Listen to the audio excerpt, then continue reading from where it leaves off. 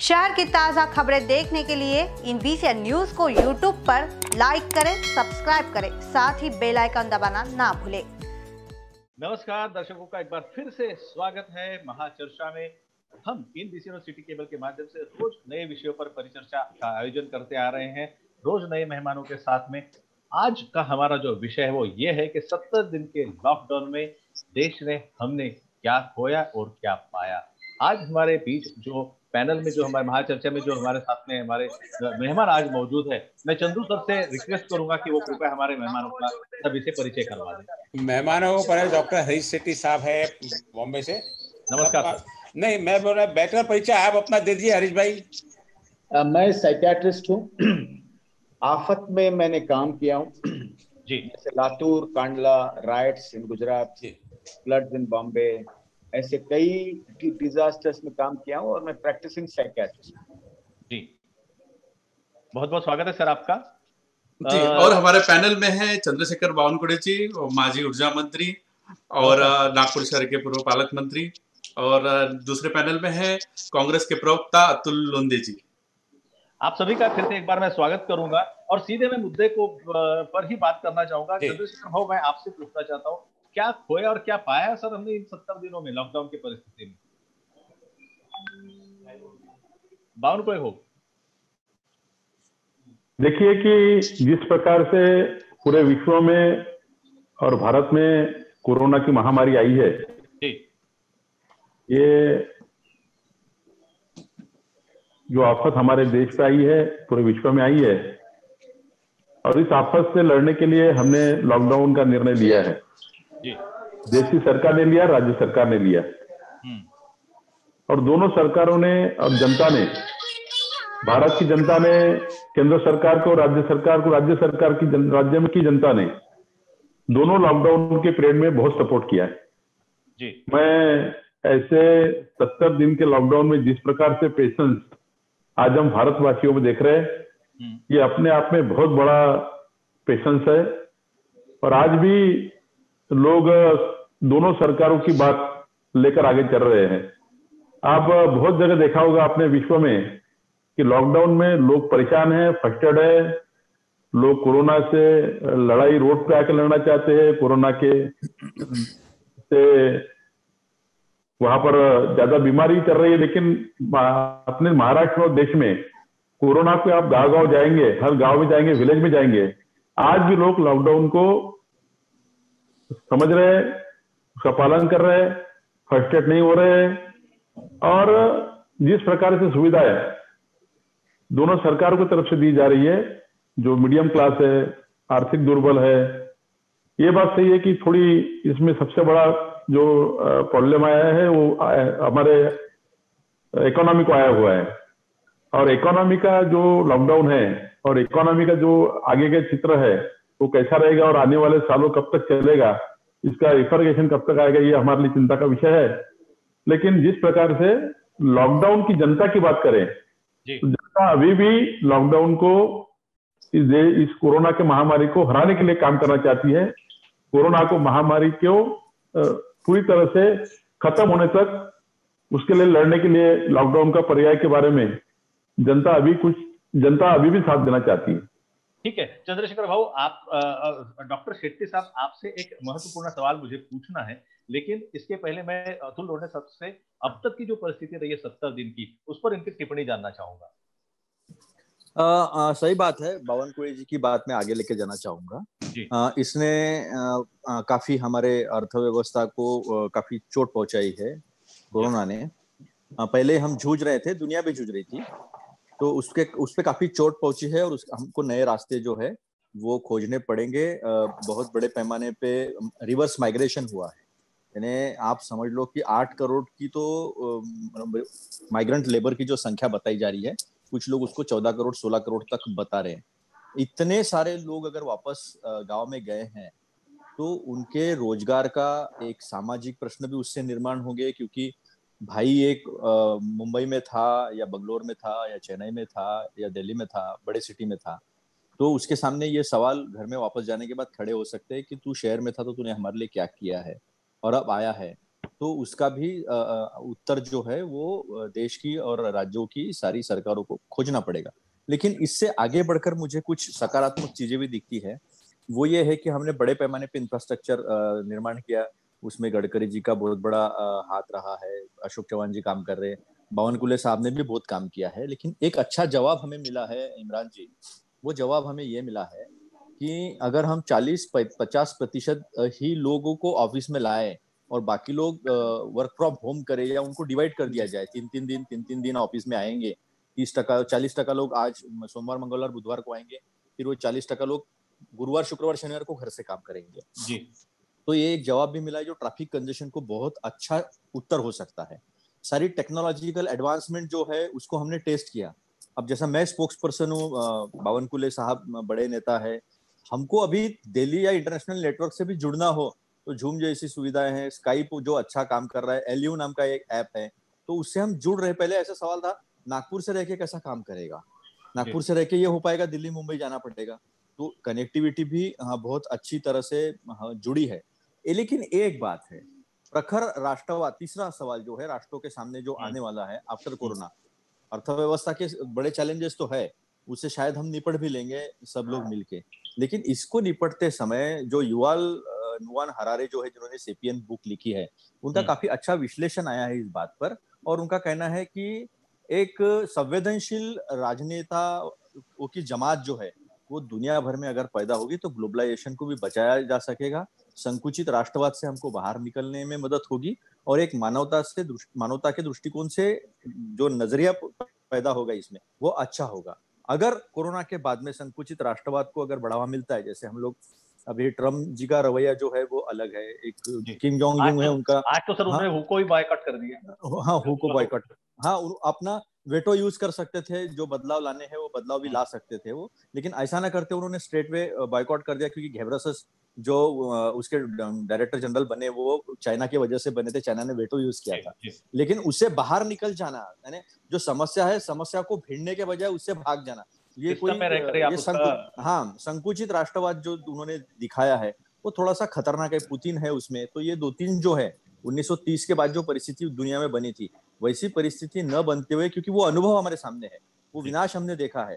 तो आने वाले दिनों में जो एक कंपैशनेट मानवतावादी नेतृत्व जो है उसको बढ़ावा मिला तो हम इन चीज़ों से लड़ पाएँगे ऐसे बहुत सारी अच्छी चीज़ें और बहुत सारे चैलेंजेस हमारे जिसकी ज़्यादा ज़रूरत है मानवता ज़रूरत है। अतुल जी और चंद्रशेखर जी हमारा प्रश्न ये था कि हमने इन सत्तर दिनों के लॉकडाउन में जब से लॉकडाउन खोला हमने क्या खोया क्या पाया? सबसे बड़ा कि सबसे बड़ा कि जनता का हमने तो विश्वास जनता जनता का विश्वास खोया। हमने आपस में तालमेल खोया है। ये देखो ये बीमारी से जो परेशानी हो रही वो तो होनी है। वो हमारे हाथ में नहीं थी।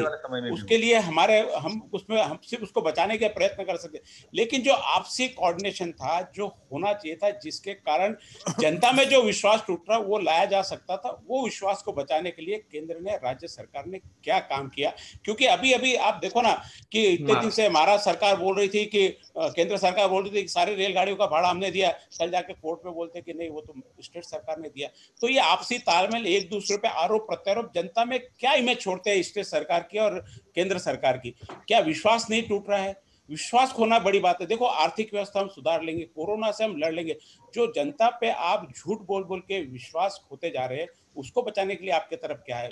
लड़ाई से लड़ लेंगे, कोरोना से लड़ लेंगे, आर्थिक व्यवस्था से लड़ लेंगे, लेकिन आप विश्वास खोते जा रहे हो। चंदू जी मैं आपका इसी बात को आगे बढ़ाते हुए मैं डॉक्टर शेट्टी साहब से मैं सवाल पूछना चाहूँगा। सर आप आप सीनियर साइकियाट्रिस्ट है और आप बड़े शांति से मंद मंद मुस्कुराते हुए हमारे सारी बातें भी सुन रहे हैं। मैं ये जानना चाहूँगा सर आपसे सत्तर दिनों में क्या मानसिकता में क्या क्या बदलाव आए हैं सर पूरे जनता के? ग्लोबलाइजेशन सोनू सूद सरी के दिख रहे लेकिन आज। जी? सोनू सूद सरी के दिख रहे सर बिल्कुल। उनका प्रभाव भी जी वो उनके उनके तो, व्यक्तिमत्व से डॉक्टर साइकियाट्रिस्ट है तो उनके व्यक्तिमत्व से सा, उनके सामने वाले आने वाले पेशेंट को आधा तो वैसे ठीक हो जाता होगा उनकी मुस्कुराहट से। ग्लोबलाइजेशन से हम डिस्कनेक्ट हुए थे। जी। कोरोना ने हमें रिकनेक्ट किया फैमिलीज़ के साथ। ये बहुत बड़ी बात है। जो पिता ऑफ़िस में झूंझ रहा था माता टीवी के सामने बैठ रही थी और बच्चे ट्यूशन में मर रहे थे वो सभी साथ में खाना खाने लगे। वो सभी साथ में बात करने लगे वो सभी एक दूसरे से प्यार करने लगे और कहानियाँ बांटने लगे। बहुत बड़ी जीत। पिता को शक्कर कहाँ है दूध कहाँ है चाय की पत्ती कहाँ है इसका थोड़ा एहसास हुआ। मतलब दो घरों में चाय उसको बनानी पड़ रही है। और जो घरों में माताओं ने माताओं ने मार्टियर बनने का इमरान आलोक आया हुआ है। बीच में मत बोलिए प्लीज़ ठीक जो जो घरों में जो माताओं ने मार्टियर बनने का कोशिश नहीं किया, मैनेजर बनने का कोशिश किया, उन्होंने सबको काम बांट के दिया। तुम्हें क्या करना? तुम्हें क्या करना? सांगा, तुम्हें क्या करना? और ये बहुत बड़ी बात है। इसके साथ साथ और भी कुछ बातें हैं। स्मशान भूमि पर जाने के बाद हमें विराग आता है, अगले दिन भूल जाते हैं। एग्जिस्टेंशियल डायलेमा बोलते हैं। इसमें ये एग्जिस्टेंशियल डायलेमा थोड़ा लंबा समय तक रहा। और ये लंबा समय अचानक लोगों के फ़ोन आने लगे तुम कैसे हो? तुम्हें कुछ मदद चाहिए का? लोगों ने खुद के हेट्रेड को क्वारंटाइन किया खुद के नफरत को क्वारंटाइन किया। ये बहुत बड़ी बात है ये पॉजिटिव बात है। नेगेटिव बात यह है कि कोरोना वायरस अदृश्य है इनटेंजिबल है अनइमेजिनेबल है और ऐसे समय पे डर।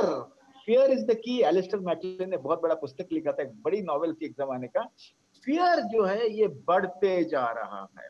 और फियर के वजह से, घबराहट के वजह से एकाग्रता कम होते जा रहा है, गुस्सा आते जा रहा है और साथ साथ में शक की भावना आता है। जो लोग जो ऐसे कहते हैं ना, इतने लोगों को ऑफ़िस मिलाओ इतने लोगों को ये करो, फिर आधा आधा ट्रैफ़िक आधा ट्रैफ़िक ये अच्छी बात है। पर उसके साथ साथ जब तक ये डर कम नहीं होगा, लोग एक दूसरे के ऊपर शक करेंगे, कोई छीका तो लोग हाथ उठाएँगे वायलेंस होने की संभावना है। फोबिया एंग्जाइटी डिप्रेशन बढ़ने की संभावना है। ऐसे समय पर हमें पापा फिगर चाहिए। मुझे आज भी याद है, नाइन्टी थ्री के राइट मैंने काम किया था। तब श्रीकांत बापट कमिश्नर थे, बहुत सौम्य, बहुत शांत उनको निकाला गया और सामरा साहब को लाया गया। सामरा साहब रोज प्रेस कॉन्फ्रेंस लेके समाज को शांत करते थे।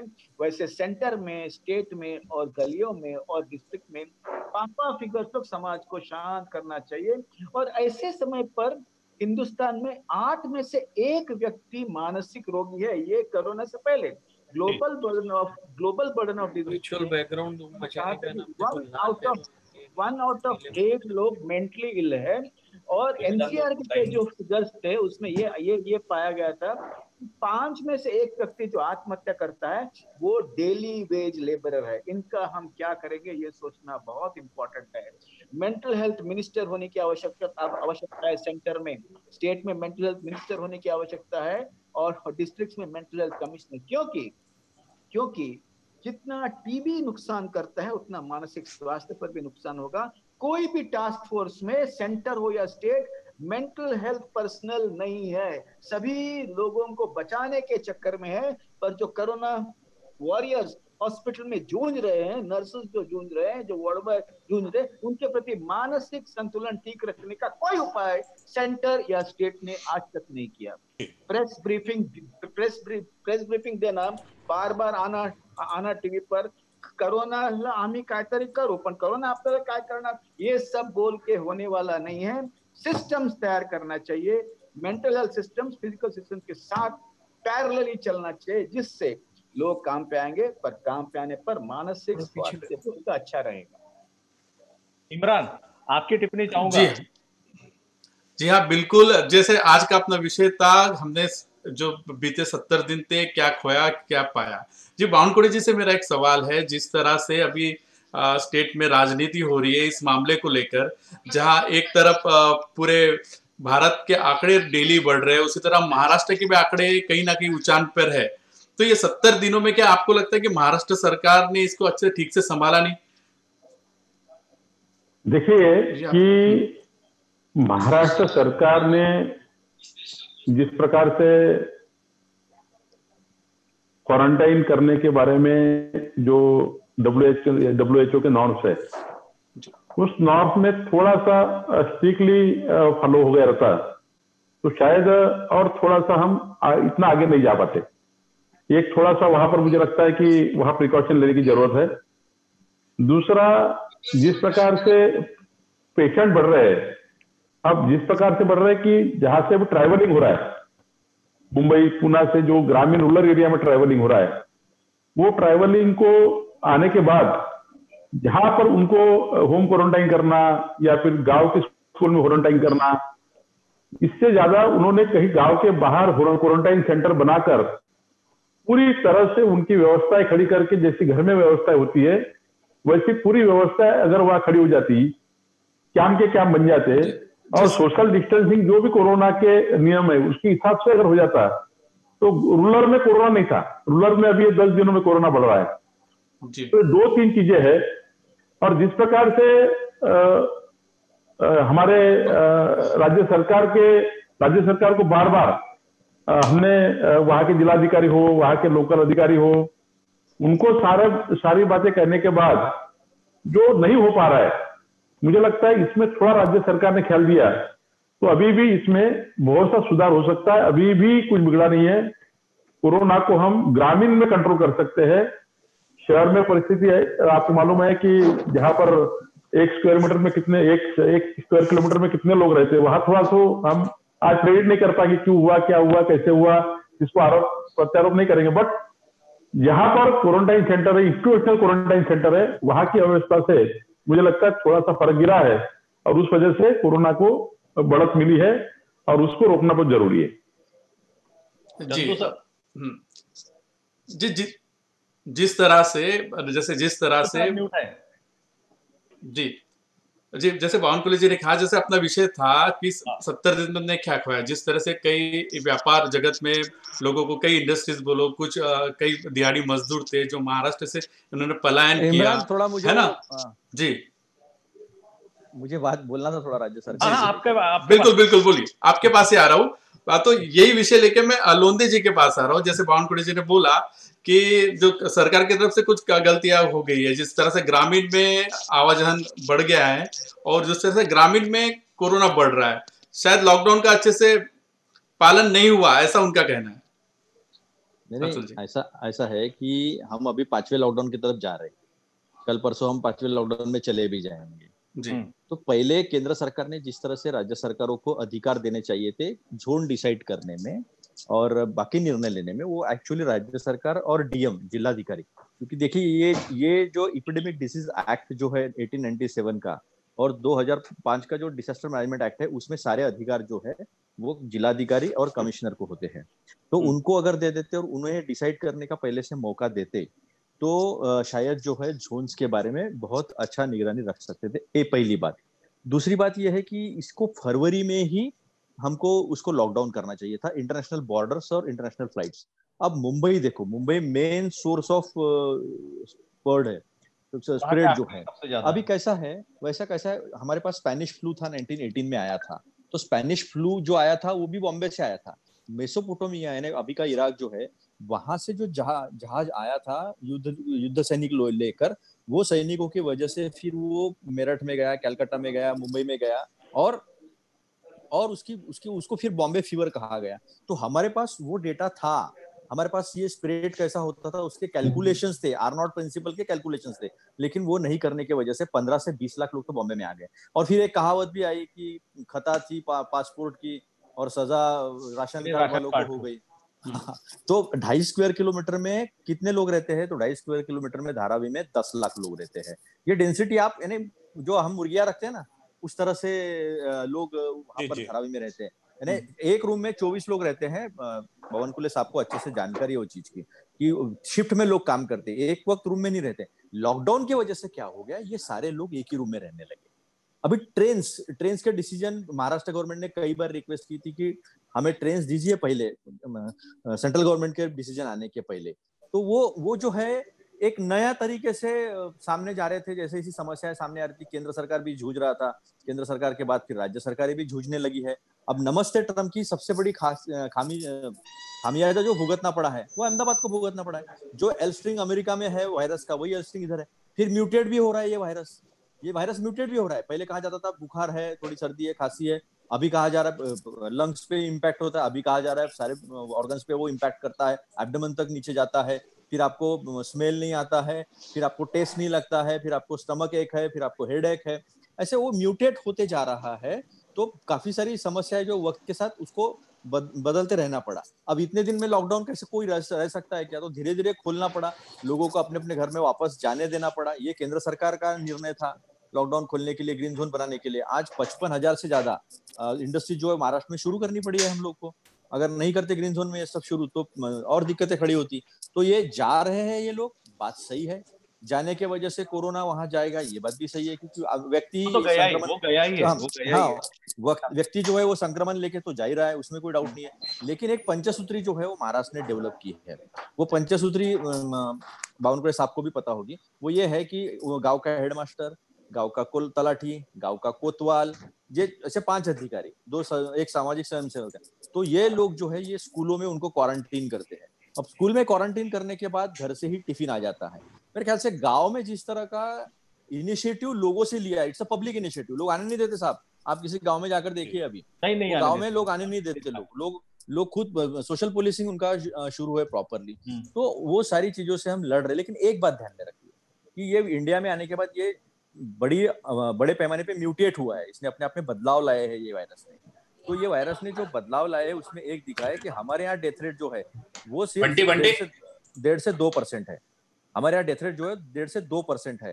तो हमें इसको ये सारी चीज़ों को नज़र में रखकर हमें वो पॉलिसी बनानी पड़ेगी। और सबसे बड़ी बात अभी कोई विरोधी पक्ष विपक्ष नहीं है और अभी कोई सत्ता पक्ष नहीं है। अभी हमारी लड़ाई जो है वो इकट्ठा होके इकट्ठा होके जो है वो कोरोना के खिलाफ है। तो इसमें इसमें हमें जो है वक्त के साथ जो है इस इसमें हमें बदलाव लाने पड़ेंगे। पॉलिसी हमको वक्त के साथ बदलनी पड़ेगी क्योंकि पहला एक्सपीरियंस जो है वो 50 परसेंट तक मदद कर सकता है। चार लॉकडाउन का एक्सपीरियंस पाँचवें लॉकडाउन में काम में आएगा हमारे लेकिन हमें धीरे धीरे ओपन अप होके जब तक इसका वैक्सीन नहीं आता है तब तक इसके साथ हमको लड़ना पड़ेगा अर्थव्यवस्था को भी जगह पे रखना पड़ेगा लोगों की मेंटल हेल्थ का सबसे बड़ा आंसर यही है कि वो काम से भी लग जाए चाहे होम वर्क फ्रॉम होम से लग जाए ठीक से बाहर लोगों को काम मिले और मार्केट में डिमांड जनरेट हो।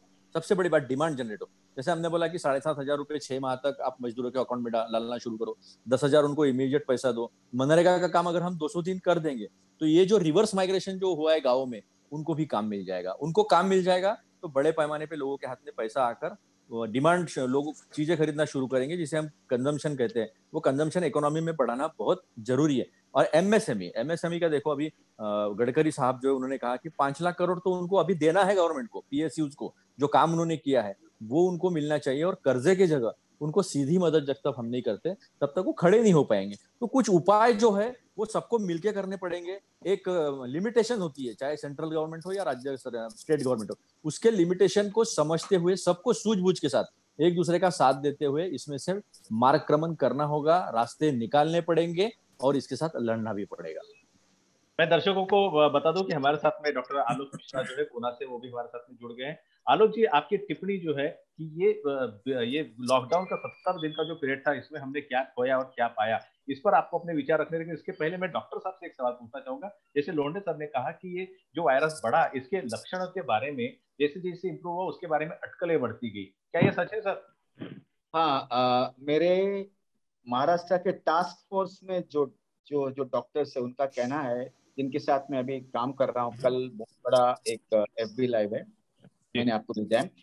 थर्टी स्ट्रेन आइडेंटिफाई किए गए तीस तीस स्ट्रेन थर्टी स्ट्रेन और डॉक्टर लाने ने कहा पिछले हमारे वेबिनार में कि कई कई डिस्ट्रिक्ट में कहीं ना कहीं आवाज़ आ रही है बैकग्राउंड में साइलेंट करें।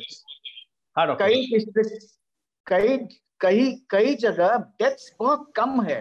तो आईसीएमआर चेक करिए कि कौन सा स्ट्रेन कमज़ोर है और कौन सा स्ट्रेन बहुत ज़्यादा है।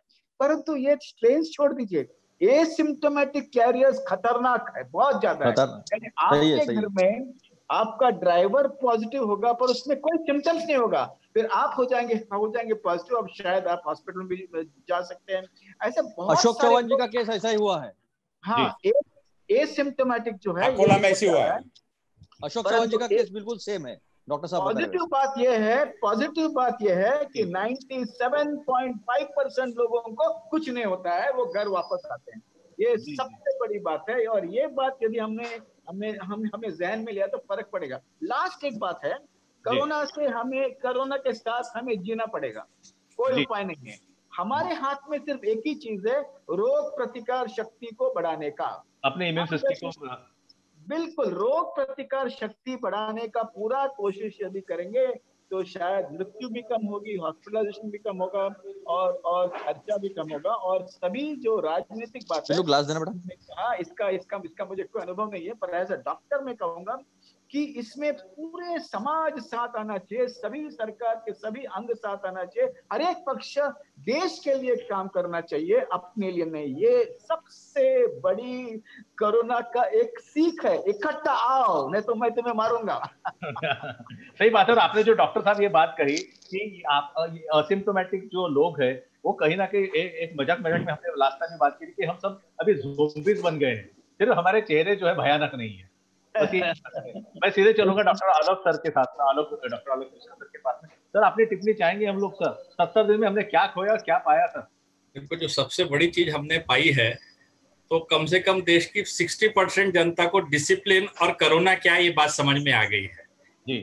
हमारे तो ये ये समझ में आ गया है हाथ धोना आ गया है सैनिटाइजर का मतलब क्या होता है ये समझ में आ गया है।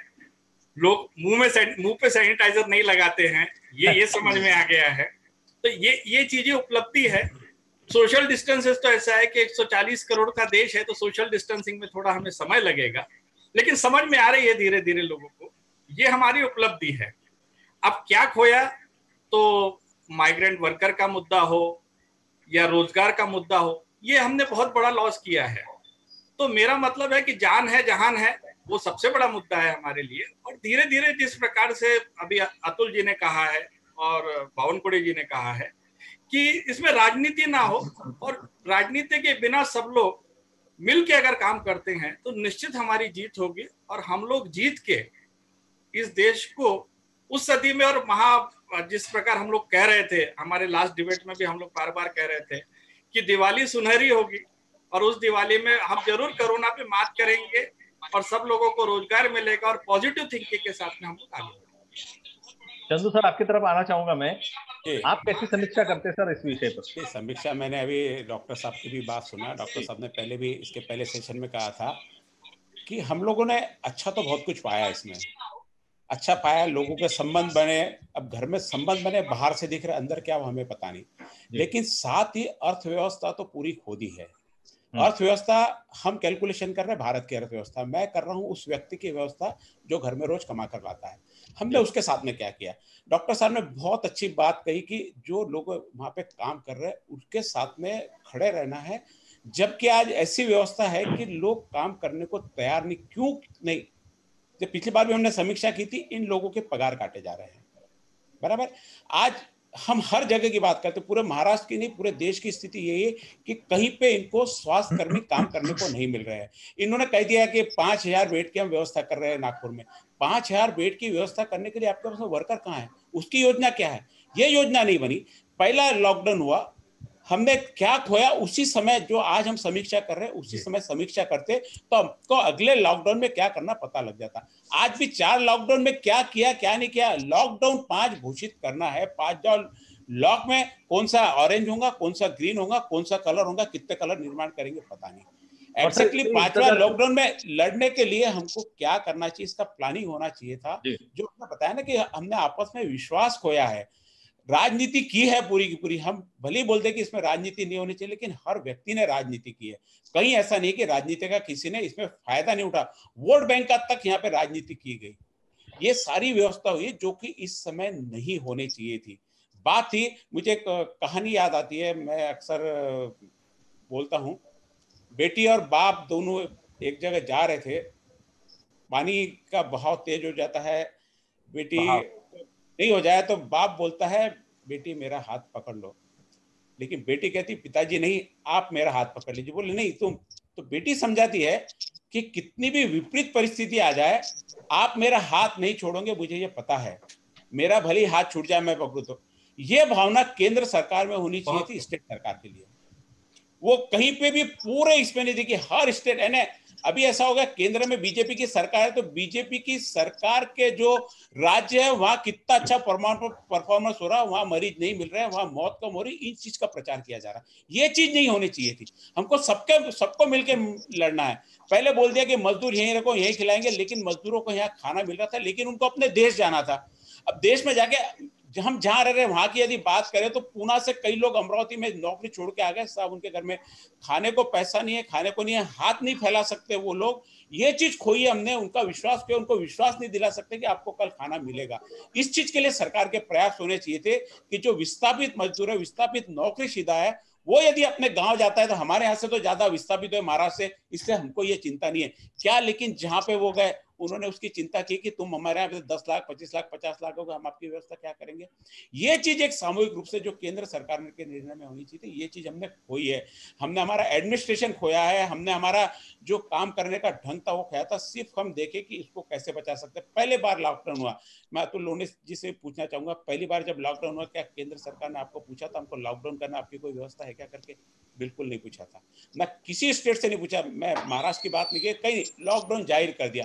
अरे लॉकडाउन ज़ाहिर किया उस स्टेट की अवस्था तो देखो उस लायक सहने लायक है नहीं है उसमें क्या परिस्थिति होंगी सबसे ज़्यादा फ़र्क यदि पड़ा तो महाराष्ट्र में पड़ा यहाँ से पूरे मजदूर क्योंकि महाराष्ट्र और गुजरात ऐसा है जब पूरे देश से मजदूर काम के लिए।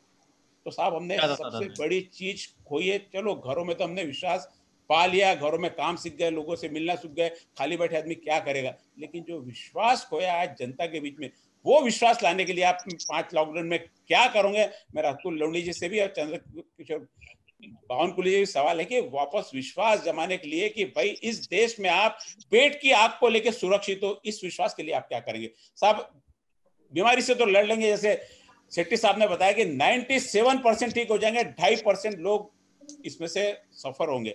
97 परसेंट सुरक्षित है, उसमें से 60 परसेंट लोग पेट की आग को लेकर असुरक्षित। उसके लिए आपके पास में क्या योजना, क्या पाँचवें लॉकडाउन में आप वो योजना ज़ाहिर करोगे? आपने क्या इसके लिए कोई प्लानिंग किया? मेरा सवाल है सबसे। चंद्रशेखर भाव आपको भी जवाब देना है और अतुल लोने सर आपसे भी हम जवाब की अपेक्षा करते हैं। नहीं ठीक है ना तो पहले पहले पहले देखिए कि डॉक्टर चंदू डॉक्टर चंदू जी ने बोला है तो मैं उसमें सहमत नहीं हूँ। देखिए केंद्र सरकार ने राजनीति कभी की नहीं है। केंद्र सरकार ने पाँच पाँच बार मुख्यमंत्री की मुख्यमंत्री जी की बैठक लेकर हाँ ये बात सही है कि पहले लॉकडाउन के पहले कुछ बात वो भी शायद हो सकती है कि वो बैठक हमें नहीं दिखाई दी। सर मजदूरों में राजनीति नहीं की क्या रेलवे से भेजने के लिए? मैं मैं, मैं जरा पूरी पूरी बात बताता हूँ कि केंद्र सरकार ने राज्य सरकारों के सारे मुख्यमंत्रियों से उनकी परिस्थितियाँ वहाँ पे होने वाले अड़चने वहाँ की माइग्रेंट लेबर वहाँ के किसान वहाँ के सारे वर्ग इसके ऊपर आधार के ऊपर फिर योजना बनाई अलग अलग प्रकार के पैकेज बनाए अलग अलग प्रकार के पैकेज के माध्यम से वो जनता तक पहुँचने का प्रयास किया, राज्य सरकारों ने अपनी यंत्रणा लगाई। देखिए, केंद्र सरकार ने देने के बावजूद भी, राज्य सरकार ने सर्कुलेट करने के बावजूद भी जो मजूर आदमी है, जो माइग्रेंट लेबर है, मैंने उसका अनुभव किया है। हम लोगों ने कोरोना में बहुत काम किया है फ़ील्ड लेवल पर। मैं भी कोरोना का, महाराष्ट्र का, भारतीय जनता पार्टी से मुख्य समन्वयक हूँ। कितने लोगों को खाना देना कितने लोगों को नीडली लोगों को फ़ीड करना वगैरह वगैरह। उसकी बात मैं अभी नहीं करूँगा। बट एक मानसिकता माइग्रेंट लेबर में हो गई थी कि हम शहर में रहेंगे तो मरेंगे। हम गाँव में जाएँगे तो सुरक्षित रहेंगे। अब जब उनको सारे पैकेज दे रहे हैं, उनको सारा खाना खिला रहे हैं, उनको सारी पार्टियाँ मदद कर रही है, सारे समाज के नेता मदद कर रहे हैं, सभी पार्टी के लोग रास्ते पे आके मदद कर रहे हैं। मैं आज उसके कितने किसने किया, कांग्रेस ने कितनी मदद किया, भाजपा में कितनी किया, वो नहीं बताऊँगा। वो उसके मैं जाऊँगा नहीं। लेकिन एक मानसिकता बन गई थी लोगों में कि भाई हमें अपने गाँव जाने दो। हम आप कितना भी दो सोना दो नहीं रहेंगे हम यहाँ। मैं जाऊँगा मैं, मैं मेरा कुछ हो कम ज़्यादा हो जाएगा तो मेरा परिवार में हो जाएगा। मेरा परिवार कम से कम मुझे उठाएगा। तो ये भावना से ये भावना से किसी सरकार को नहीं माने लोग। जब ट्रेन नहीं थी तो लोग आठ सौ आठ सौ किलोमीटर नौ नौ सौ किलोमीटर पैदल निकल गए। आपने रास्ते का चित्र देखा होगा समझाने के समझ नहीं रहे। लोगों में असुरक्षित भावना तैयार हो गई और इस वजह से माइग्रेंट लेबर में डर तैयार हुआ। जब फियर तैयार होता है तो फियर के बाद कोई उसको रोक नहीं सकता और इसलिए माइग्रेंट लेबर अपने अपने गाँव चले गए। रह गई बात उनको व्यवस्था देने की। फिर सरकार को ऐसा लगा कि भाई जब फियर तैयारी हो गया है, डर हो ही रहा है तो फिर उनकी व्यवस्थाएँ करें। कुछ सामाजिक संस्था ने व्यवस्था की सरकार ने कुछ एसटी लगाई, केंद्र सरकार ने रेलवे लगाई अब वो राजनीति उसमें रेलवे में हुई क्या? नहीं हुई क्या? इसमें आज का विषय नहीं है। मैं राजनीति में नहीं जाऊँगा क्योंकि राजनीति में पूरी चर्चा अपनी डॉक्टर साहब बैठे हमें पॉजिटिव चर्चा करना है पॉजिटिव मैसेज देना है पूरे विदर्भ में। तो मेरा कहना ऐसा है कि फिर दोनों सरकारों ने अपने अपने लेवल पर ट्रेन छोड़ना एस छोड़ना कम से कम उनके घर तक वो पहुँच जाए वहाँ पर उनके व्यवस्था हो जाए वो सरकारों ने उन लोगों को ले, उनको लेकर वहाँ पर व्यवस्था करना, सारे सरकार आपस में बातचीत करने लग गए। तो मुझे लगता है कि चौथे लॉकडाउन तक अभी बहुत सा कंट्रोल है। पाँचवें लॉकडाउन में हमें सोचना पड़ेगा कि जो गाँव में गया हुआ माइग्रेंट लेबर है, उनको का जो कोरोना अगर वो उसको साथ कर रहा है, अगर वो कोरोना लेकर गया है, उसको गाँव के बाहर ही कोरोना को, उसको पूरा खत्म करके फिर गाँव में छोड़ना, गाँव में गया भी है तो उसको रोकना ये पाँचवें लॉकडाउन का बहुत बड़ा आगे समस्या रहने वाली है। शहरी भाग में भी समस्या है ग्रामीण भाग में भी समस्या है। पांचवे चौथे लॉकडाउन तक ये समस्या थी कि हम सिटी तक लेवल तक हम लोग बात कर रहे थे लॉकडाउन की। ग्रामीण थोड़ा खुल गया था। अब डर लग रहा है कि ग्रामीण में ग्रामीण में कोरोना पहुँचने की वजह से अभी ज़्यादा व्यवस्था ग्रामीण में खड़ी करना पड़ेगा। उनका ख्याल रखना पड़ेगा। साथ साथ में किसानों का ख्याल रखना पड़ेगा। किसान की मजदूरी का ख्याल रखना पड़ेगा। ये लोगों को रोज़गार देना पड़ेगा। ये सारे लॉकडाउन पाँच में उसका विचार करते हुए केंद्र सरकार और राज्य सरकार। अब राज्य सरकार ने भी कल डिक्लेयर किया है कि हम पांचवा पैकेज जो एक पैकेज देने वाले हैं, वो चारों लॉकडाउन से क्या पूरा फ़र्क गिरेगा, फ़र्क गिरा हुआ है। चारों लॉकडाउन में क्या नहीं मिला लोगों को? केंद्र सरकार ने जितनी बातें दी है, अब कौन सा वर्ग छूट गया है जिनको कुछ देना है? वो केंद्र सरकार, बाला बलुतेदार है, उनको क्या है नाई घर बैठे हुए हैं, ऑटो चलाने वाले घर बैठे हुए हैं। जो हमारे धोबी घर बैठे हुए हैं, कपड़े धोने वाले ऐसे लोगों के लिए क्या होगा? ये सारे चीज़ों का विचार मुझे लगता है राज्य सरकार भी कर रही है। मुझे लगता है कि इसमें राजनीतिक हुई नहीं है। केवल कभी कभी इतना काम करते वक्त एक आध दो छूट जाता है विषय तो उसको राजनीति में उसका परिवर्तन हो जाता है। सरकार जब कोई भी काम करती है तो सरकार ने जब नब्बे परसेंट अच्छा काम किया और दस परसेंट एक आधी गलती काम करने में हो गई तो फिर केंद्र ने राजनीति किया इसने किया उसने किया वो बातें आ जाती है। मुझे लगता है कि अभी हमको समस्या को खोजना पड़ेगा और वो सरकारों को ग्राउंड रियलिटी का अगर हमने उनको बता दिया कि ये ग्राउंड रियलिटी है हमने अपने सरकार को पहुंचाई तो शायद सरकार भी आगे चल के पाँचवें लॉकडाउन में और कुछ आगे जाएगी ऐसा मुझे लगता है।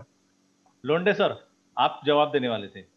हाँ नहीं जवाब नहीं है। देखिए मतलब यही सबसे बड़ी खामी है कि बवन कुले साहब जैसे जो संवेदनशील नेता है जो हम्म। जानते हैं जो जिन्होंने देखो ग्राउंड लेवल से ऊपर तक बात की और वो सर का ग्रामीण ग्रामीण व्यवस्था के ऊपर थोड़ा सा कंसंट्रेशन भी रहा है। नहीं नहीं ग्रामीण में नेतृत्व देना और उसकी समझ रखना इसका अंतर भी दिखाई देता है। कितनी समझ उन्होंने दिखाई वो भी देखिए आप। लेकिन ऐसे जो लोग हैं वही मुख्य प्रवाह से भाजपा में बाहर है ये भी बहुत बड़ी खामी है।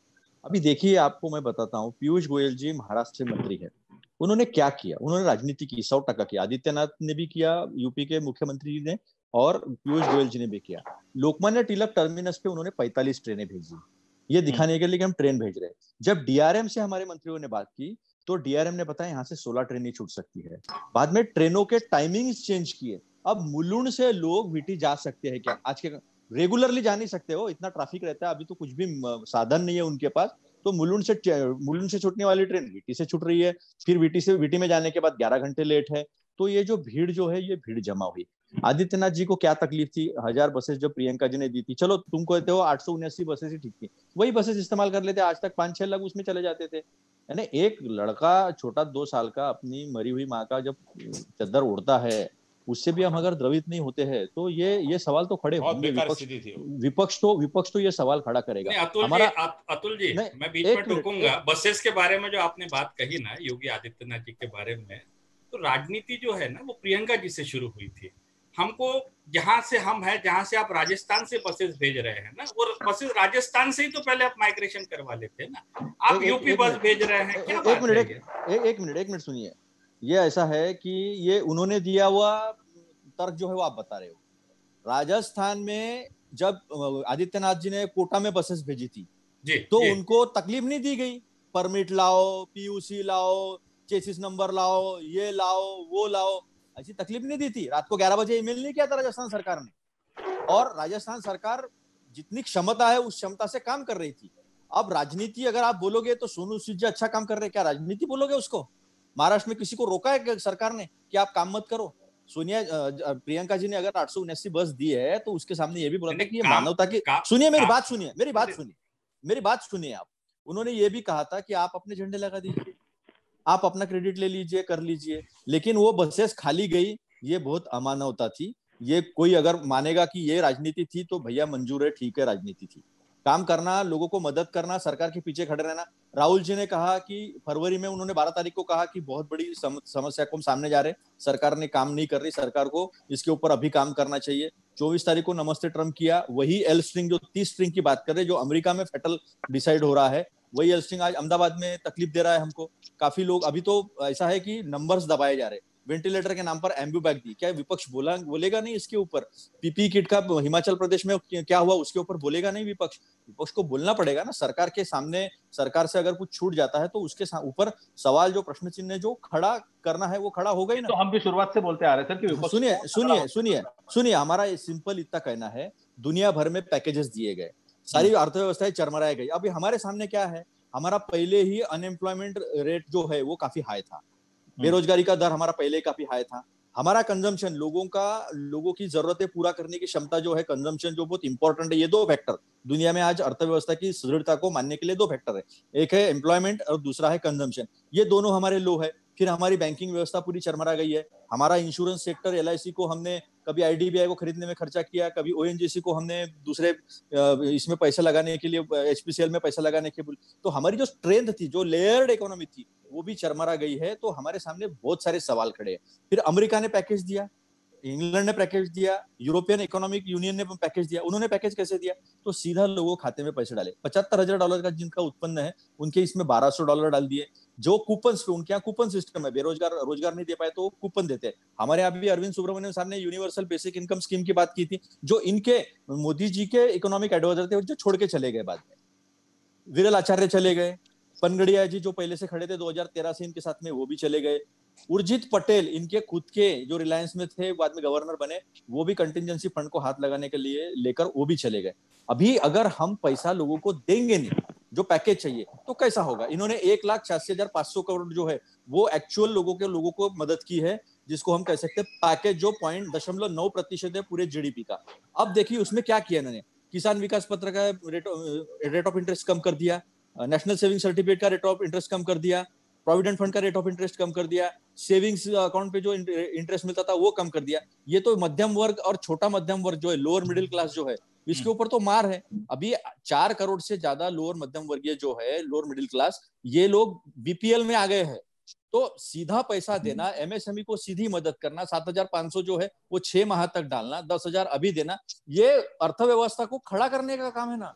ये अर्थव्यवस्था में ये सजेशन हम नहीं दे रहे अभिजीत बैनर्जी से बात कराई राहुल जी ने राहुल जी ने रघुरामन राजन जी से बात कराई तो सकारात्मक विपक्ष जो है वो हरदम खड़ा रहा ना। हरदम बातें जो है वो एक सुझाव की इसमें आई। लेकिन फिर वो बातें हो नहीं रही और दिन ब दिन लोग इसमें झुलस रहे, अर्थव्यवस्था झुलस रही है और उसमें अगर विपक्ष चुप रहेगा और कुछ बोल नहीं पाएगा तो कल को ये भी सवाल खड़े होंगे कि जब गलतियाँ हो रही थी तो विपक्ष क्या कर रहा था। इसे राजनीति नहीं कहते। सकारात्मकता से सरकार के पीछे खड़े रहने का जो हमारा काम था, वो हमने किया है। अब राजनीति कह के अगर आप हर बात को दरकिनार कर रहे होंगे, हर हर तर्क को दरकिनार कर रहे होंगे, जो अब हमने पॉजिटिव बात की, उसको भी अगर किनारे पे रखने का काम कर रहे होंगे तो ये अर्थव्यवस्था हाशिए पे चले जाएगी। ये अगर नहीं सुनने का जो है मोदी जी किसी का सुनते नहीं है। मोदी जी ने पहले लॉकडाउन में, पता नहीं उनको आठ बजे, कल भी रात ग्यारह बजे उन्होंने खत डाला। इतना बुलंद थे मोदी जी तो सुबह आके बोलते ना कि मैं तुम्हारे पीछे खड़ा हूँ। मन की बात जैसा, रेडियो जैसा उन्होंने मैसेज दे दिया। सामने आते, आज कहते कि मैं तुम्हारे सामने खड़ा हूँ। मैं तुमको ये मदद करूँगा वो मदद करूँगा। पैकेज देना नहीं था। उन्होंने छह साल की गिना दिया है। तो हमको बोलना पड़ेगा फिर काले पैसे का क्या हुआ? जो उसकी टी लगी थी सुप्रीम कोर्ट के अतुल लोंडे जी हम ये बावन के लिए कुछ बोलना चाहते हैं ये ये बहुत बहुत बहुत बहुत बहुत आउट ऑफ़ पॉइंट ये बोल रहे हैं। हाँ मैं इसलिए बोल रहा हूँ इसलिए मैं रोक रहा आपको। हम जो देखो बाउन जी कुछ बोलना चाहते हैं इस विषय पर। आउट ऑफ़ पॉइंट नहीं बोला मैंने। सब्जेक्ट सब्जेक्ट चेंज कर दिया सब्जेक्ट चेंज जा हैं अतुल जी अतुल जी अतुल जी। सत्तर दिन में सात दिन की बात है सत्तर दिन कोरोना के कोरोना के संदर्भ से हम बाहर जा कोरोना रहे हैं। तो शायद ये बातें नहीं आती। कोरोना के कारण क्या नया चंदू जी चंदू जी चंदू जी और चंदू जी अतुल जी। अब आपका हम बाउन कोई साहब देखो। अतुल जी। एक की बात एक मिनट। अगर अर्थव्यवस्था के बारे में बात करना और उसके बारे में सुझाव देना है। अर्थव्यवस्था पर तो तो अतुल जी अतुल जी पार्टी पार्टी ने आपकी बात सुन ली है आपको प्रमोशन मिल जाएगा चिंता मत करिए बावन नहीं, मिल जाएगा प्रमोशन मिल जाएगा। गांधी परिवार की तारीफ़ करने पे प्रमोशन मिलता है पता है हम लोगों को। मुझे मुझे लगता है कि कोरोना की महामारी में जुझते हुए चंदू भाऊ को सजा मिल रही है पार्टी में? ऐसा कहना नहीं नहीं क्या? कोरोना की महामारी में हम लोग जो क्या खोया क्या पार्टी में नहीं है। नहीं नहीं क्या खाया बावन क्या कोले की बात बावन कोले साहब की बात कर रहे हैं। की बात सुन हमको तो बड़ा दुख है हमारा इतना बड़ा नेता जो है अतुल जी अपन बावनकुळे सर की बात सुन लेते हाँ, हैं हाँ। सर की बात सुन लेते देखिए अतुल जी से मेरी रिक्वेस्ट है कि कोरोना के महामारी में हमने क्या खोया क्या पाया ये विषय चल रहा है। अब इसमें इसमें हमने मैंने बात रखी। इसमें मैंने ये, मैं बार बार कह रहा हूँ कि हमें लोगों को किस तरह से बचाना है, उसका मानसिक संतुलन कैसा रखना है, दिल्ली सरकारों से क्या और मिल सकता है, राज्य सरकार से और क्या मिल सकता है, हम ये विषय के आधार पे हम लोग आगे पॉजिटिव चर्चा लेके जाए, ताकि जो दर्शक जो लोग है, दर्शक लोग, भारतीय जनता पार्टी का नेता, क्या हमारे सरकार को बताना चाहता है? कांग्रेस के अतुल लोंडे अपनी राज्य सरकार को क्या बताना चाहते हैं? और राज्य सरकार ने जो दिया वो कैसा पहुँच जाए? केंद्र सरकार ने दिया वो कैसा गाँव गाँव तक पहुँच जाए? और ये बात सही है कि हमारे देश 120 करोड़ वासियों का देश है। जो देश पाँच लाख, दस लाख, पच्चीस लाख, दस करोड़, आठ करोड़, पाँच करोड़, वहाँ पे डायरेक्टली कूपन देना, उनके अकाउंट में डायरेक्टली पैसे डालना, वहाँ की इकोनॉमी का सब कुछ स्ट्रक्चर देखा तो अपने देश में पॉसिबल नहीं है। और ये, वो देशों से हमारे देश की तुलना नहीं हो सकती। लेकिन यह हो सकता है कि हम लोग सारे लोग मिलकर केंद्र सरकार राज्य सरकार मिलकर जिस प्रकार से मोदी जी मोदी जी की जहाँ तक बात निकली है। मोदी जी आज केवल दो घंटा सोकर मैं आपको बहुत जवाबदार से कहता हूँ। मैं पीएमओ का रिपोर्ट आप देख लीजिए। दो घंटा सोकर पूरा आध्यात्मिक उनका सभी बातों पर ध्यान है। तो वो पूरे देश के जनता को बचाने के लिए क्या क्या करना चाहिए ऐसे मुश्किल घड़ी में? वो सारी चीज़ें करने का प्रयास कर रहे हैं। कभी मानसिक किसी को मानसिक सपोर्ट दे रहे हैं कभी इकोनॉमिक सपोर्ट दे रहे हैं कभी राज्य सरकार से बात कर रहे हैं कभी डॉक्टर से बात कर रहे हैं। मुझे लगता है कि अभी हमें आज की चर्चा अतुल जी ये एक जनता के बीच में सकारात्मक कांग्रेस क्या कर रही है सकारात्मक बीजेपी क्या कर रही है हमारे डॉक्टर क्या सजेशन दे रहे हैं हमारे आज का जो विषय है जो बहुत महत्वपूर्ण विषय बीसीएन ने लाया है। मैं बीसीएन का बहुत बहुत आभार व्यक्त करता हूँ। कि क्या खोया क्या पाया और आगे क्या करना है हमको। मुझे लगता है इस बात पे जाएँगे तो निश्चित रूप से अच्छा मार्ग निकलेगा। डॉक्टर साहब डॉक्टर साहब एक डॉक्टर एक मिनट नहीं नहीं चंदू जी चंदू जी एक दस सेकंड दस सेकंड ज़्यादा टाइम नहीं लूँगा। ज़्यादा टाइम नहीं लूँगा। चंदू जी मैंने कोई भी आउट ऑफ़ ट्रैक अगर आप बात किया होगा ऐसा अगर आपका सोचना है तो फिर ये मैंने जो बोले है कि हमने जो उपाय बताए हैं सरकार को तो वो कोरोना से संबंधित है क्योंकि कोरोना और अर्थव्यवस्था दोनों एक दूसरे से निगड़ित है और उस, उसका सोल्यूशन हमें निकालना पड़ेगा। ठीक है और आप- सुनो आप सुनो सुनो सुनो मेरी बात। नहीं नहीं तो वही मैंने कोई आउट ऑफ़ ट्रैक जाके कोई बात नहीं की है। अगर आउट ऑफ़ ट्रैक मैं गया हूँ तो फिर अभिजीत बैनर्जी भी गए हैं जिनको नोबेल प्राइज मिला है। रघुरामन राजन जी गए हैं जिनको नोबेल अपना प्राइज मिला है। टॉपिक नहीं है ना सर अपना नोबेल प्राइज वाला टॉपिक नहीं, है अतुल जी अतुल जी अपना नोबेल आलोक प्राइज जी आलोक जी आलोक जी आज का टॉपिक अपना आज का टॉपिक अपना सत्तर दिन में सरकार ने क्या सरकार किया? है, नोबेल तो प्राइज पे वही था। हाँ, टॉपिक से बाहर नहीं है कहीं भी? अतुल जी टॉपिक से बाहर नहीं थे। उसको ज़्यादा हम बाहर सत्तर दिनों में। कोरोना के कारण क्या बदलाव आए वही पे चर्चा है। कोरोना यदि नहीं होता तो ये सारी चीज़ें नहीं होती। जो कोरोना के कारण नई चीज़ आई है हाँ। उसी बात है। आपने भी आलोक जी कहा कि गाड़ी की भी राजनीति हुई। राजनीति नहीं है। मुझे अब एक जगह की अपनी एक उदाहरण ले लीजिए। अमरावती में कोई एक हॉस्पिटल सौ बेड का तैयार है उसके पास में एनओसी नहीं है। अरे कारपोरेशन को चाहिए वहाँ पे बेड रखना है तो क्या वो पहले उससे उसकी एनओसी लेंगी क्या उसका पूरा सैंक्शन लेगी? आज तो जगह उपलब्ध है ना आपके पास में। आप जगह ले लीजिए उपयोग करिए एनओसी वगैरह बाद में आती रहेगी। वहाँ तो इस मामले में राजनीति हुई। और बावनकुले साहब भी बताते कि हमको उसकी तुलना नहीं करनी लेकिन हर बार तुलना पॉजिटिव अप्रोच इटली में इतने लोग मरे अमेरिका में इतने लोग मरे अपने यहाँ नहीं मरे। वहाँ इतना तो भाई इकोनॉमी में उसकी आप बराबरी क्यों नहीं करते?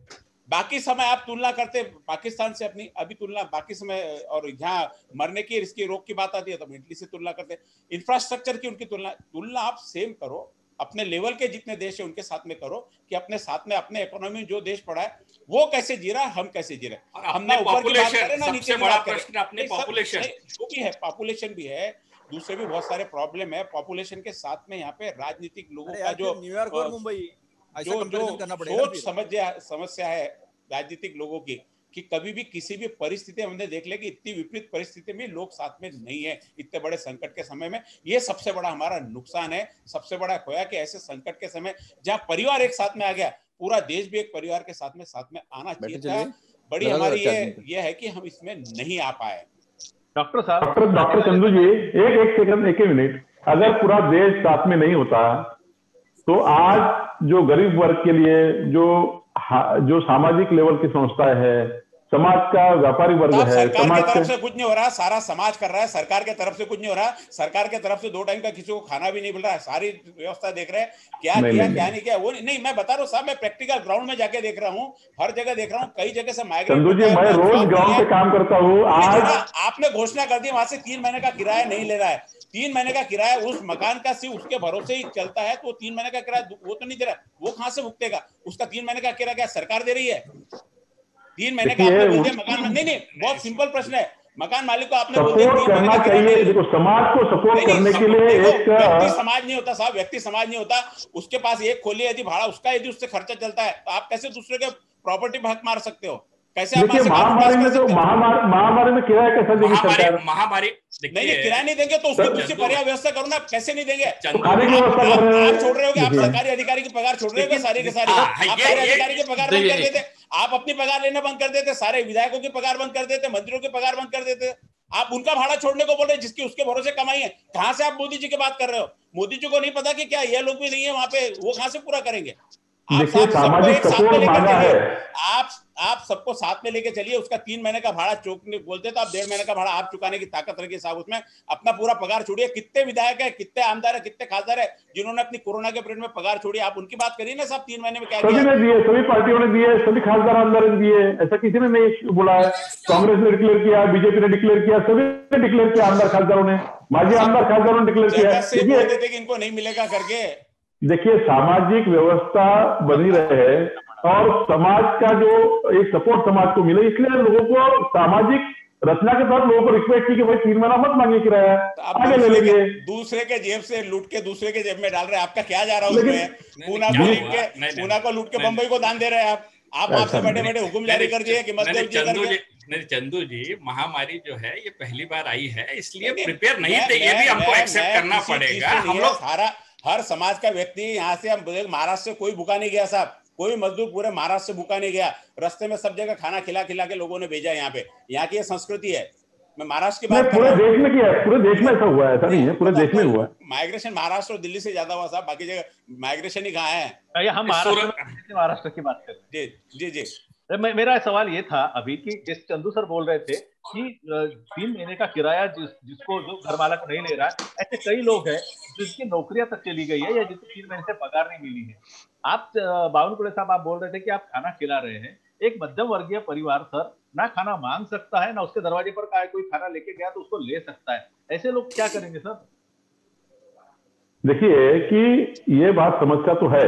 मैंने पहले ही बोला कि समस्या नहीं है, क्या तो समस्या है? थोड़ा सा सभी को समस्या को हाथ में लेना पड़ेगा, उसके साथ जीना पड़ेगा, जैसा कोरोना के साथ जीना है तो ये समस्या जो जीवन में आई, इसके साथ भी जीना पड़ेगा। मीडियम परिवार का लोग जो आदमी है, वो जो उसकी ज़रूरत है, वो थोड़ी उन्होंने कम कर दी है। उन्होंने अपना रवैया कम कर दिया है। मुझे लगता है कि बहुत ज़्यादा दिन का ये विषय नहीं है। कोरोना बहुत से ज़्यादा कंट्रोल में आने का प्रयास सारे लोग कर रहे हैं। हम लोग आज ही कहेंगे कि भाई मध्यम वर्गीय लोगों का मानसिकता उनकी कमज़ोर कर देंगे। मुझे लगता है कि उनको भी कुछ एक आधा ऐसा पैकेज मिले जो मीडियम क्लास के लोग भी आर्थिक दुर्बल परिवारों जैसे अपना जीवन व्यापन कर सके। पर बात कर रहे हैं ऐसा कुछ हो। चंदू हमने वही हमने वही कहा है कि हम दोनों सब मिलके अभी जो जो वंचित लोग हैं जहाँ पर हम सरकार नहीं पहुँचा पाए जहाँ तक हम सरकार नहीं पहुँच सकती है नहीं पहुँची है ऐसे मुद्दे निकालकर ऐसे मुद्दों को लेकर केंद्र सरकार से हम बात करें राज्य सरकार से बात करें जो दिया है वो सही पहुँचाए राज्य सरकार पहुँचाए आप पहुँचाए हम पहुँचाए जो नहीं मिला उनको मिलाने के लिए प्रयास करें और सभी समाज को सभी धर्म को सभी लोगों को कोरोना के महामारी में लड़ने का धैर्य दे। यही हमारे हाथ में है। किसने क्या दिया है किसने क्या नहीं दिया इसका विश्लेषण बहुत लंबा है। उसके लिए बहुत बातें चलेगी। अच्छा नहीं है। इन चीज़ों के प्लानिंग के लिए सत्तर दिन बहुत होते हैं। डॉक्टर शेट्टी साहब जो हाँ। मानसिक स्थिति अभी तैयार हो रही है एक पेट के आग की बेरोजगारी की लोगों के घर में खाने की नहीं है लोगों के पास रोज़गार नहीं है कितने दिन ऐसी अवस्था में आदमी नॉर्मल रह सकता है? बहुत आसान सा प्रश्न आपके लिए लेकिन मुश्किल जवाब। देखिए सवाल मेरा भी था। नहीं साइकोलॉजिस्ट भी है डॉक्टर साहब जी जी इसलिए इसलिए। क्योंकि सही वही बता पाएँगे हम तो सिर्फ़ कागज़ की बातें करेंगे। क्योंकि डॉक्टर साहब के बारे में एक मिनट में मैं बता दूँ कि जब लातूर में भूकंप आया था डॉक्टर साहब वही थे उस समय। डॉक्टर साहब ने पूरा परिचय दे दिया है हाँ, बराबर हाँ, पहले। हाँ, डॉक्टर साहब से दिया जी डॉक्टर साहब अब पूरी टिप्पणी आपकी है। लातूर में भी मध्यम वर्ग क्यू में क्यू में खड़े रहकर कुछ मांग नहीं रहे थे ये सच बात है। दूसरी बात ये जो डर के बारे में मैं, मैं बात कर रहा हूँ लातूर के भूकंप में भी थोडा हादरा थोडं जरी हादरा झाला तर लोक गावाकडे पळायचे आळंदीवरून लोक घरी गेले. आणि लातूरवर पुष्कळ ऍस्ट्रॉलॉजर्स थे त्या काळी. आणि ऍस्ट्रॉलॉजी म्हणायचे आता चोवीस ऑक्टोबरला पुन्हा भूकंप येणार. गुजरातचे लोक पळून जायचे. एवढा पळापळी झाली आहे अर्थक्वेक के समय या कोई आफत के समय अफवाह बहुत फैलती है डर बहुत बहुत लगती है. और ये बात अब सरकारों ने स्टेट हो या सेंटर हो इन्होंने कंप्लीटली इग्नोर किया कि ये हो सकता है। क्योंकि सरकार स्टेट हो या सेंटर हो, उन्होंने जान बचाने के काम में पूरे लग गए। उन्होंने ये नहीं सोचा कि जमीनी तौर पर ग्राउंड लेवल पर माइग्रेंट्स लोगों का डर इतना बढ़ गया कि उन्हें घर जाने की बहुत इच्छा और वहाँ से फ़ोन आती थी तुम वहाँ मत मरो, यहाँ के मरो। ये मुझे लगता है एक बहुत बड़ा फॉल्ट लाइन है अपने डिजास्टर मैनेजमेंट का state as well as number one number two Hindustan आफत बहुत बहुत देखे हैं।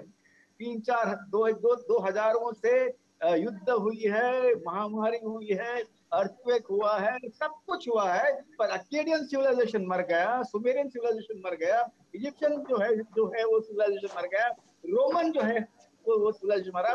यहाँ इस इस इस मच्छी में कुछ ना कुछ ऐसी ताकत है जिससे रेजिलियंस जो बोलते हैं, वो बहुत ज़बरदस्त है। पर बहुत ज़्यादा रेजिलियंस पर हम हम यदि हमने ओवर एस्टिमेट किया तो तकलीफ़ होगा। मानसिक स्वास्थ्य में क्या होगा मैं आपको बताता हूँ। हिंदुस्तान का रिहेबिलिटेशन बड़ा विचित्र है, बड़ा विचित्र है। हमारे हमारे संस्था जल्दी भाग जाते हैं और वहाँ से जल्दी वापस भी आते हैं। जल्दी जाते हैं और जल्दी वापस पे आते हैं। फिर आइडियोलॉजिकल संस्था अटकती है और इवेंजुलेटल जो संस्था है वो वहाँ अटकती है धर्म परिवर्तन के लिए। अब लातूर के बाद हमने घर बांधा कॉम्पेंसेशन दिया अपना काम हो गया।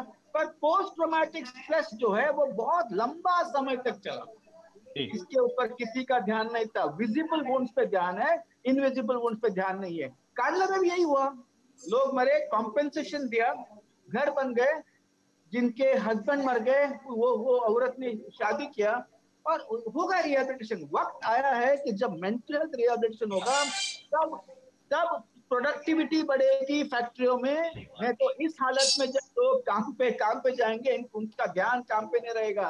यदि मेंटल हेल्थ पैकेज नहीं चाहिए पैसा नहीं चाहिए पर mental health mental health systems यदि हम रिहेबिलिटेशन में हमने डाला तो मैं कहता हूँ प्रोडक्टिविटी बढ़ेगी डर कम होगा फैमिली फैमिली लाइफ अच्छा होगा क्वालिटी क्वालिटी लाइफ अच्छा होगा। अभी क्या होगा मैं आपको ओपनली बताता हूँ। There will be a mental health avalanche in places where there have been deaths जहाँ मृत्यु बहुत हुई है वहाँ मानसिक तकलीफ़ बहुत होने वाला है। आप आप सोचिए जो लोग जो लोग मरे हैं उनके मृत्यु देह भी लोगों ने देखा नहीं है। वो वो उनका उन, उनका क्रिमेशन तक वो वहाँ नहीं गए। उनको अंदर से क्लोजर नहीं मिला है। कोई कोई रिचुअल नहीं हुआ ऐसे फैमिलीज़ काफ़ी समय तक समय तक रोते रहेंगे। बहुत उदास रहेगा। और रिहेबिलिटेशन पैकेज सिर्फ़ घर बांधना और कॉम्पेंसेशन देना और बैंक में पैसा डालना, इससे नहीं होता यार। रिहेबिलिटेशन पैकेज ऐसा है कि लास्ट जो जो सर्वाइवर है, उन तक काउंसलिंग की फैसिलिटी जाना चाहिए। ये बहुत इंपॉर्टेंट है। ये मेंटल हेल्थ एवलांच जो है, मैं जो जो कहता बम्बई में होगा, अहमदाबाद में होगा, इंदौर में होगा, जहाँ जहाँ मृत्यु होगा, उसमें एक फोबियाज बढ़ेंगे, घबराहट बहुत बढ़ेगी। वायलेंस बढ़ेगा। मैं मैं मैं लिख के देता हूँ आपको, कोई छीकेगा कोई खांसेगा, उसके प्रति गुस्सा बढ़ेगा और हाथापाई भी होगा। नंबर तीन, उदासीनता उदासीन्य और पैनिक अटैक पैनिक अटैक है मुझे कुछ हो रहा है, मुझे कुछ हो रहा है। ये वाला है। ऐसा क्यों क्यों होगा? अरे कोरोना से पहले one out of seven Indians were mentally according to the global burden of disease release by the government of India and and the global burden of disease federation तीन महीने पहले उन्होंने ये ये रिलीज़ किया। निमैस ने कहा था 2017 में one out of nine Indians are mentally तो ये अचानक से corona will not cure everything तो ये मेंटल एवलांच जरा देखो, हिंदुस्तानियों को जब तक हम कुछ देते नहीं है, कुछ दिखता नहीं है, तब तक आत्म शांति नहीं, हमने कुछ किया, उसकी आत्म शांति नहीं होती खाना देना इंपॉर्टेंट है। Mental health is not only about feelings it is also about food परंतु साथ साथ में गरीब अमीर और मेंटल हेल्थ बड़ा यूनिवर्सल सेक्युलर एजेंडा है। इसमें कोई गरीब, अमीर मिडिल क्लास नहीं होता है। तो मुझे ऐसा लगता है, यदि समाज को फिर से इकट्ठित आना है, सभी पार्टियाँ मिलकर नेशनल गवर्नमेंट होना चाहिए सभी जगह नेशनल गवर्नमेंट पैर किचाटानी बंद करना, ये वक्त आया है सभी को एकत्रित आके हर एक गट के जो लोग हैं, उनके प्रति ध्यान देना। पुलिस वालों में इतना डर है रास्ते पर जब हमें वो रोकते हैं तो हम कार्ड बताते हैं दूर से देखते हैं छह फीट दूर से दिखता नहीं है। जो कि पुलिस वाले भी काफ़ी गुजर गए तो I think I think there is a social epidemic of fear that has to be addressed like you address food and livelihood and business ठीक है डॉक्टर साहब हमें कंक्लूजन की ओर चढ़ना पड़ेगा क्योंकि घड़ी की सुनिया भी बता रही है कि हमारा वक्त खत्म होते होते आ रहा है। मैं सभी से बारी बारी से कंक्लूडिंग टिप्पणी चाहूँगा। आलोक सर मैं आपसे शुरुआत करता हूँ। नहीं मैं डॉक्टर साहब की बात से पूरी तरीके से सहमत हूँ कि इस मुद्दे पे कभी किसी ने विचार नहीं किया है बहुत इंपॉर्टेंट मुद्दा था सर सही बात। उस उस मुद्दे पे मैं चाहता हूँ अतुल जी और बावन कुड़े साहब कि ये मुद्दा जो है हम लोगों को थोड़ा सा हाईलाइट करके आप अपने अपनी पार्टी लेवल पे भी इसको हाईलाइट करके इसके सोल्यूशन के दिशा में हम लोगों ने आगे बढ़ना चाहिए क्योंकि एक नया मुद्दा उभर के आया है बाकी मुद्दे तो हम लोग काफ़ी डिस्कस कर चुके हैं। वर्ल्ड बैंक आईएमएफ और ये सब चीज़ें डिस्कस हो चुकी इस मुद्दे के ऊपर हम लोगों ने आके बहुत कुछ काम करना होगा ऐसा मेरा मुद्दा है। बावन साहब आपकी टिप्पणी चाहूँगा सर तुम शब्दों में चलते चलते चलते। देखिए हम सबने मिलके सभी समाज के सभी वर्ग ने मिलके सभी का सजेशन लेते हुए डॉक्टर साहब ने जो सजेशन दिया और हम सबने एक पॉजिटिव राह लेकर जो जो हमसे हो सकता है चाहे हमारी सरकारों से, हमारे समाज से, हमारे परिवारों से, हमारे जो निकटवर्ती उनसे समाज के साथ रह के ये कोरोना की लड़ाई लड़ना और इस राष्ट्र को कोरोना से बाहर निकालना और साथ साथ में आने वाली समस्याओं को भी, सभी समस्या जो डॉक्टर साहब ने बताई, बहुत बड़ी समस्या है, ये सभी समस्याओं को भी सुलझाने के लिए हम सबने एक होना, यही हमारे पास मार्ग है। धन्यवाद। मैं अतुल लोंडे सर के पास में आना चाहूँगा। सर आपकी टिप्पणी चलते चलते कम शब्दों में। नहीं एक अच्छी बात है कि अगर टास्क फोर्स का गठन हुआ है और उस गठन के डॉक्टर चंदू जी जो है वो पार्ट भी है। तो उन, उनको एक प्लेटफॉर्म है कि वहाँ जाकर वो राज्य सरकार से जो है वो बात कर सकते हैं। मैं खुद बात कर सकता हूँ बावन कुड़े जी बात कर सकते हैं कि ऐसा डिस्कशन में ये मुद्दा आया है तो ये मुद्दा ज़रूर जाएगा। लेकिन एक अच्छा है कि बीसीएन ने केवल डॉक्टर को ले ये डॉक्टर साहब को लेकर या पूरा डॉक्टर का पैनल लेकर ये डिस्कशन करना चाहिए और समाज में एक मैसेज देना चाहिए आप बोलोगे हमको ही बता रहे ऐसा मत कहिए। मैं जो दिमाग में है वो बता रहा हूँ समाज में समाज में ये समाज में ये एक अवेयरनेस जाना चाहिए कि जो वेल ऑफ़ है जैसा ना जिन्होंने सब्ज़ी बनाना सीखा चाय बनाना सीखा वो वेल ऑफ़ है उनको छह महीना भी काम पर नहीं गए तो भी वो सस्टेन कर सकते हैं। ऐसे लोगों ने भी ऐसे लोगों ने क्या पुढ़ाकार लेना चाहिए?